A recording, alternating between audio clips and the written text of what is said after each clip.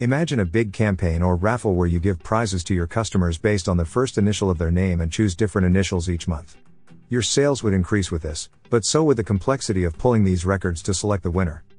You can do this process with the normal WooCommerce user editor, but it will be very difficult and time consuming.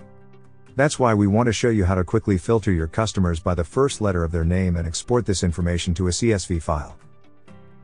For this, we will use the WooCommerce Customer Spreadsheet plugin. This plugin will help you save time by allowing you to filter and edit your customer data in minutes. It also allows you to import or export CSV files to apply bulk edits in Excel or Google Sheets. We will leave the link to download the plugin in the description of this video, as well as the link to see our written guide.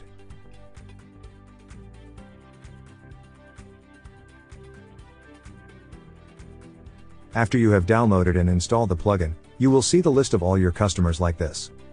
The information of each customer is displayed in each row, organized in different columns.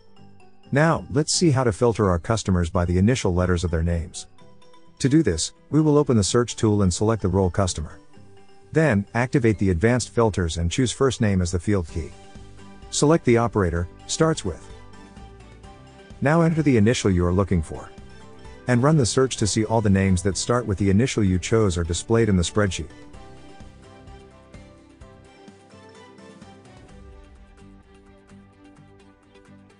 If you would like to have a copy of this information so that you can review it from wherever and whenever you want, you can easily do so using our export tool.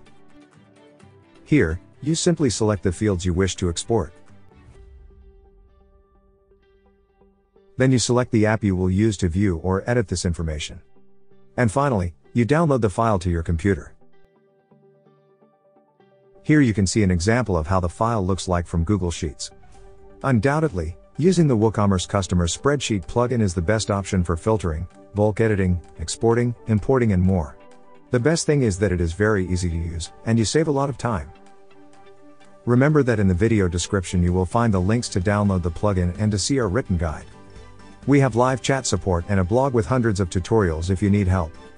Subscribe to our YouTube channel for more video tutorials.